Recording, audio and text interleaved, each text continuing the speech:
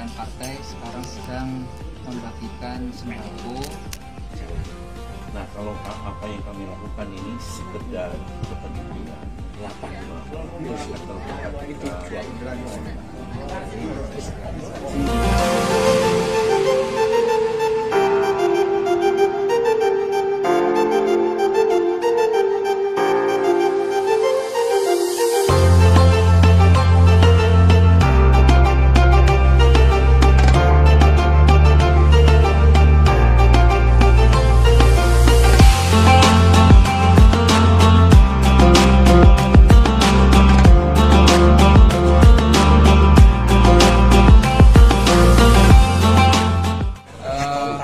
ini agenda terakhir untuk memberikan sembako kepada nakes di Kabupaten Mojokerto.